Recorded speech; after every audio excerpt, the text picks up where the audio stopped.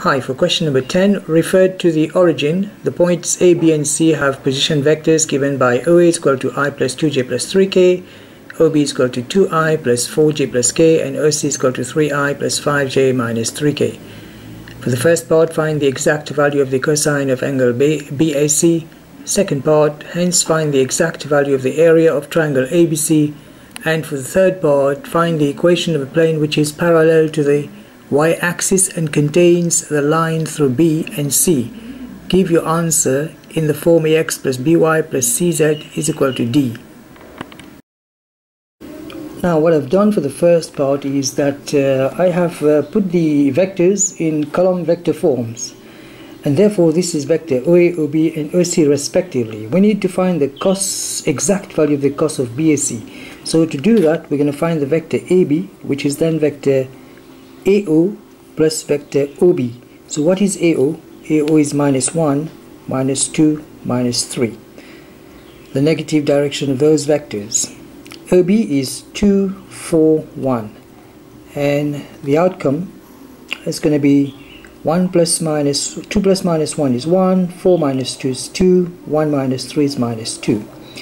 Similarly, for AC, we're going to move through AO plus OC and AO is minus 1 minus 2 again minus 3 plus OC we have it as 3 5 and minus 3 as given there.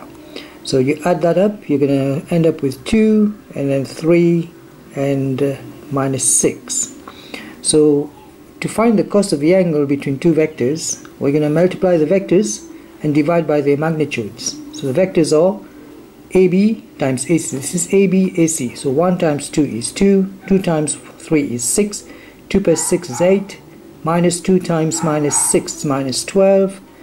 So, I mean, minus 2 times minus 6 is plus 12, 12 plus 8 is 20. Divided by their magnitude. AB, 2 to the square, 4 to the square, I mean 2 to the square, 2 to the square is 4 plus 4, 8 plus 1, 9.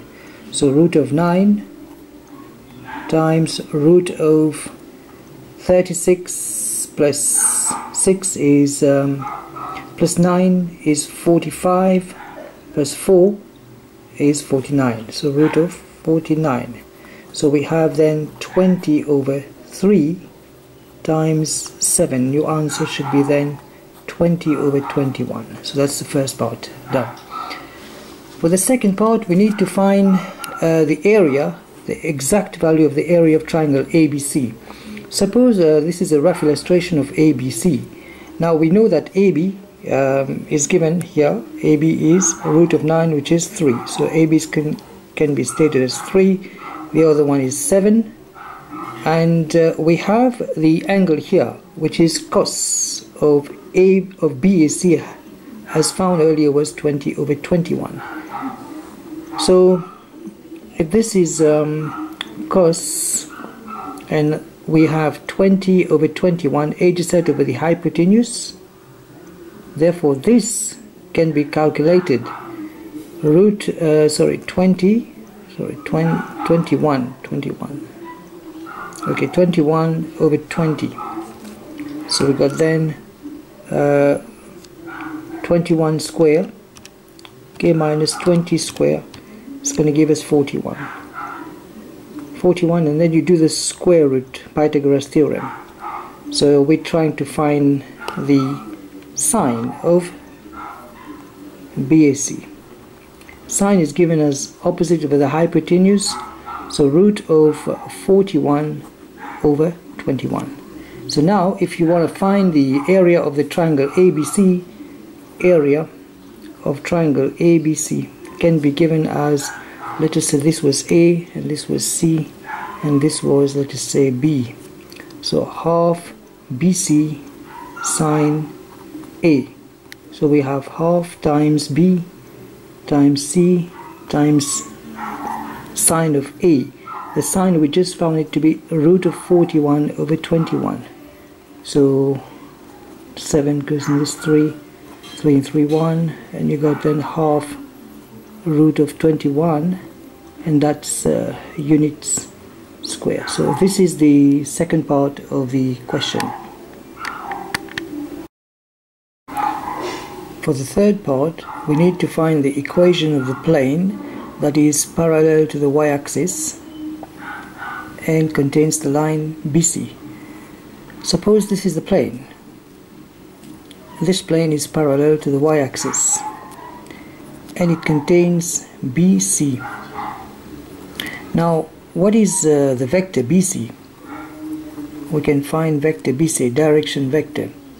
It's going to be BO plus OC. Therefore, we have BO as uh, minus 2, minus 4, minus 1 because OB was given as um, 2, 4, 1, the negative of that, plus OC, and OC is 3, 5 minus 3. 3, 5 minus 3.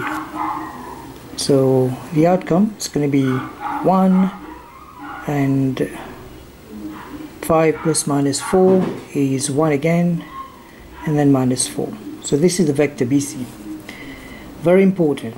Now suppose this is the z-axis alright so we can see that um, the plane is in the xy axis because it's parallel to the y-axis therefore what is um, another direction vector?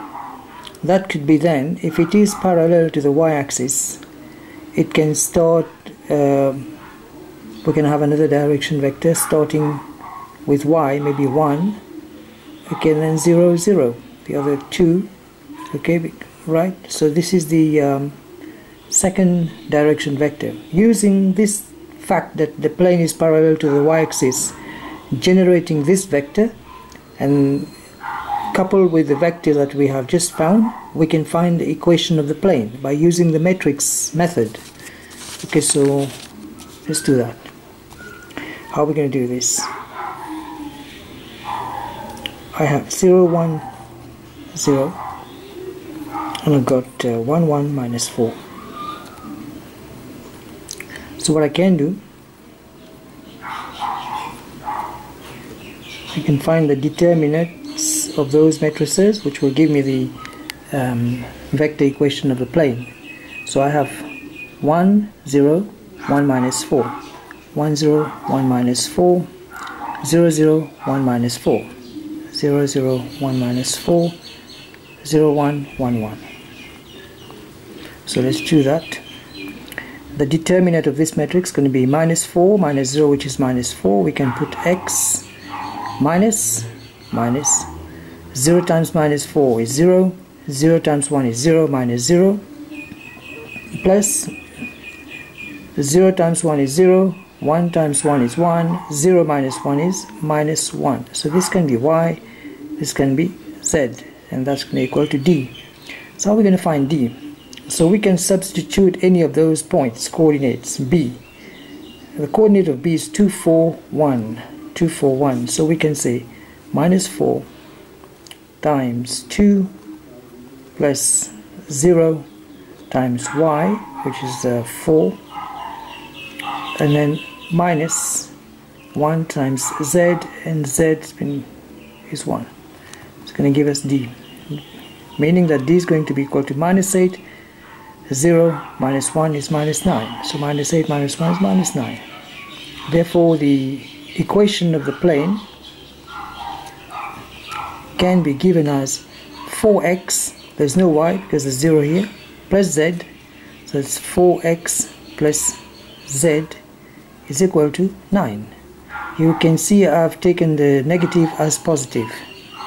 Right because all of them are negative we can substitute I mean we can factorize this and put minus 1 outside send it on the other side minus 9 divided by minus 1 is going to be positive 9 and this becomes positive. So here we are for this question taken from June 2014 advanced level maths HSC paper 3 okay take care